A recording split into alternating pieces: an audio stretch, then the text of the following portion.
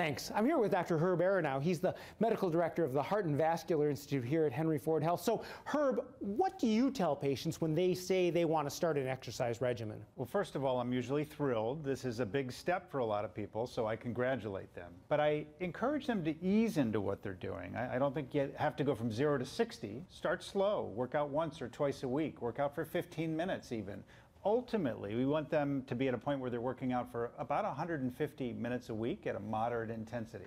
So, if someone comes to you and they want to start, but they're maybe not in the best physical shape, what do you, you do as a cardiologist to evaluate their fitness to do exercise? Well, the first thing I start with are some questions uh, about whether they perhaps have shortness of breath or chest discomfort or other concerning symptoms like lightheadedness that might mean more evaluation is necessary before they engage in exercise.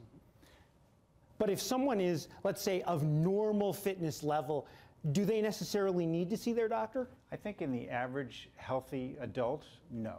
I don't think you need an evaluation before you start exercising, but I do think you should ease into exercise. Uh, not just how long you exercise, but the intensity of the exercise. You ought to be able to have a conversation with somebody if they're standing next to you, as opposed to huffing and puffing and not being able to complete your sentences. That level of intensity isn't necessary to get the benefits out of exercise. Some important advice about starting exercise. Thanks, Dr. Aronow. I appreciate it.